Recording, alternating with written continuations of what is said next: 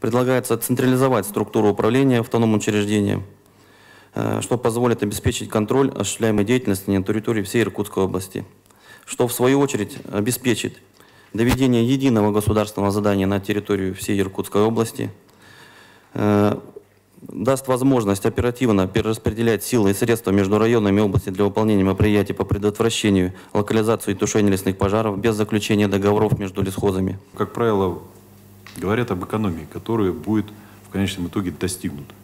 Ну, 27 директоров уже не потребуется. Из сектора людей, которые просто занимаются формальным пере... Ну, в любом предприятии это нужно. Они, соз... Но они не занимались производственной деятельностью. У вас появляется резерв определенный, и задачи, которые вы сможете решать за счет этого резерва, они действительно востребованы сегодня, и они необходимы.